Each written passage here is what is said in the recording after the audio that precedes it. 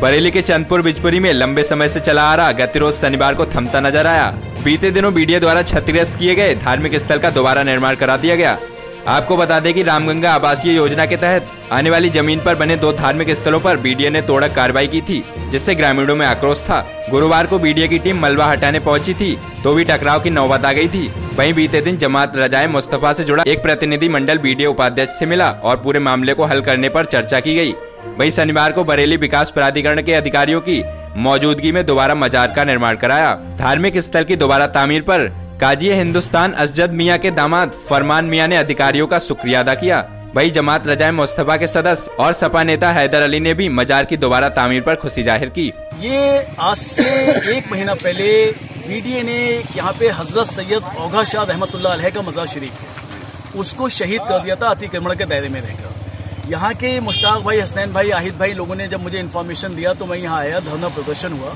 उसके बाद जमात रजाए मुस्तफ़ा के राष्ट्रीय उपाध्यक्ष मोहतरम जनाब सलमान रजा खान साहब तक ये जब मुद्दा हम लोगों ने पहुँचाया, वो एक्टिव हुए।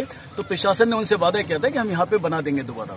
लेकिन अभी चार पाँच दिन पहले यहाँ इसको बिल्कुल मजार शरीफ का जो तावीज़ था, उसे भी शहीद कर दिया गया।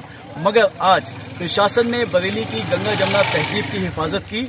बरेली की आवाम ने भी गंगा जमुना तहजीब को बढ़ाते हुए मोहब्बत का पैगाम देते हुए आज यहाँ पे मजार शरीफ बनाकर हम लोगों की भावनाओं की कदर की। इसके लिए तमाम हिंदुस्तान को हम मुबारकबाद देते हैं कि यही गंगा जमुना तहसील हमेशा ऐसी रहे। देश भर में किसान आंदोलन के अगुआ बनकर उभरे राकेश टिकैत के आह्वान पर पहले पूरे देश में चक्का जाम का आह्वान किसानों से किया गया था। लेकिन बीते दिन टिकैत ने यूपी के किसानों को जिला अधिकारियों को ज्ञापन सौंपने की बात कही। बरेली में भी किसानों के संगठनों ने जिला अधिकारी को संबोधित ज्ञापन सौंप कर अपना विरोध जताया। किसान एकता संघ के नेता डॉक्टर रवि नागर की अगुवाई में भारी संख्या में किसान कलेक्ट्रेट पहुँचे और नारेबाजी की। उत्तर प्रदेश का किसान गाजीपुर बॉर्डर पर आंदोलित है। इसलिए इन तीनों जगह के लिए शांतिपूर्ण ढंग से ज्ञापन देकर विरोध प्रदर्शन करने की तय किया गया। उसी के परिप्रेक्ष्य में आज हम तीनों कानून वापिस हों। महामहिम राष्ट्रपति महोदय जी से निवेदन करने आए हैं। बरेली पुलिस को एक और बड़ी कामयाबी मिली है। थाना बिथरी चैनपुर पुलिस ने अवैध शराब की बड़ी खेप को पकड़ा जिसमें दो सौ उनतालीस पेटी अंग्रेज़ी शराब के साथ तस्कर को गिरफ़्तार कर लिया। तो उसके दो साथी भागने में कामयाब हो गए। पकड़ी गई अवैध शराब की बाज़ार में कीमत इकतीस लाख पचास हज़ार आकी गई है। थाना बिथरी में एक राजस्थान नंबर का जो ट्रक था वो जा रहा था तो पुलिस के द्वारा उसकी चेकिंग की गई। तो उसके दो सौ उनतालीस पेटी शराब उसमें हरियाणा के प्राप्त उसमें बरामद हुई है और लगभग ये तीस लाख से अधिक की शराब है।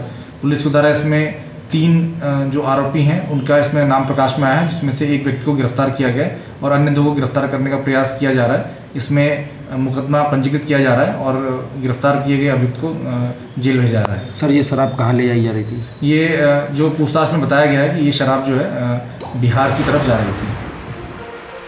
बरेली पुलिस को बड़ी कामयाबी हाथ लगी है। पुलिस ने कार चोर गैंग का पर्दाफाश करते हुए दो इको कार के साथ एक खरीदार सहित दो चोरों को गिरफ़्तार कर जेल भेज दिया है। तो वहीं पुलिस गैंग के बाकी सदस्यों की तलाश में जुट गई है। थाना शाही के अंतर्गत दो चोरी की चार पहिया गाड़ियों को पुलिस को तरह बरामद किया गया और चोरी करने वाले दो लोगों को और जिनके पास ये गाड़ियाँ बेच दी गई थी, ऐसे एक व्यक्ति को गिरफ़्तार किया गया। कुल मिलाकर तीन व्यक्तियों को गिरफ़्तार किया गया और जो ये चोरी की गाड़ी है, इसमें से एक जो है वो दिल्ली से ट्रेस हुई है, जो दिल्ली में उसके ऊपर चोरी का मुकदमा भी दर्ज है।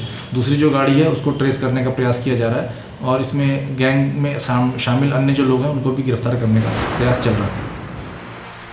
बरेली कॉलेज कैंपस में आज एक दिवसीय शिविर का आयोजन किया गया, जिसमें बेटी पढ़ाओ, बेटी बचाओ, शीर्षक पर आधारित पोस्टर कंपटीशन में छात्राओं ने अलग अलग प्रकार से अपने कौशल को दर्शाया है। छात्राओं ने बेटी पढ़ाओ, बेटी बचाओ पर सुंदर सुंदर पोस्टर बनाए। आज हमारा प्रथम एक दिवसीय शिविर लगा है, जिसमें शीर्षक था, बेटी बचाओ, बेटी पढ़ाओ। इस पे इन्होंने पोस्टर कंपटीशन का आयोजन किया गया और इस पे छात्राओं ने अलग अलग प्रकार से अपने कौशल को दर्शाया है। इन्होंने बेटी बचाओ, बेटी पढ़ाओ पे बहुत ही सुंदर पोस्टर बनाए हैं। ये संदेश देते हुए कि बेटी है तो कल है, बेटी है तो जीवन खुशहाल है।